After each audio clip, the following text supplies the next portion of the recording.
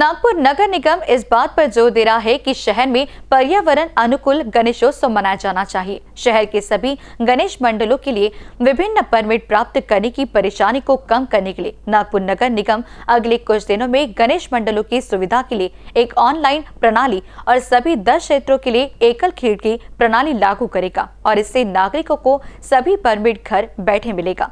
इसकी जानकारी अपर आयुक्त आचर गोयल ने प्रेस कॉन्फ्रेंस में दी। नगर निगम मुख्यालय गणेशोत्सव को लेकर डॉक्टर पंजाब राव देशमुख स्मृति स्थायी समिति सभागृह में प्रेस कॉन्फ्रेंस आयोजित की गई। इस अवसर पर नगर निगम अपर आयुक्त आंचल गोयल, सूचना एवं प्रौद्योगिकी विभाग के प्रमुख महेश धमीचा, सूचना एवं प्रौद्योगिकी अधिकारी स्वप्निल लोखंडे मुख्य रूप से उपस्थित थे नगर निगम अतिरिक्त आयुक्त आंचल गोयल ने बताया कि केंद्रीय प्रदूषण नियंत्रण बोर्ड के निर्देशानुसार इस वर्ष पीओपी मूर्तियों पर प्रतिबंध है येणाऱ्या दिवसामध्ये गणपती महोत्सवच्या अनुषंगाने आपण एन एम सीतर्फे सर्व तयारी केलेली आहे.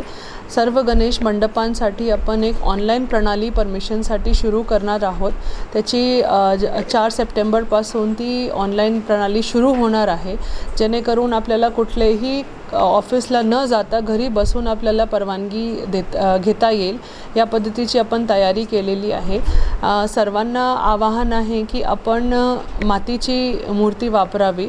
पी ओ पीची पी ओ पीची मूर्ती खरेदी करू नये. कारण एन्व्हायरमेंट फ्रेंडली जर आपल्याला गणपती फेस्टिवल साजरा करायचा आहे तर आपल्याला मातीची मूर्ती ही योग्य पडणार आहे.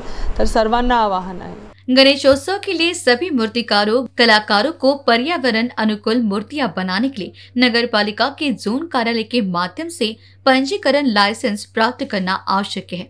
गणेश मंडलों की सुविधा के लिए नागपुर नगर निगम जल्द ही एक ऑनलाइन प्रणाली लागू करेगा, जो गणेश मंडलों के लिए सुविधाजनक और आसान होगी। इसके अलावा सभी 10 जोन में एक एक खिड़की की व्यवस्था होगी। गणेश मंडलों के लिए आवश्यक क्षेत्रवार अनुमति, पुलिस विभाग की अनुमति और अनापत्ति प्रमाण पत्र, अग्निशमन विभाग की अनुमति और अनापत्ति प्रमाण पत्र आदि इस ऑनलाइन प्रणाली के माध्यम से आसानी से प्राप्त किए जा सकते हैं। नगर निगम अपर आयुक्त आंचल गोयल ने भी कहा। कैमरा पर्सन राजकुमार मोहर के साथ क्षितिजा देशमुख की रिपोर्ट।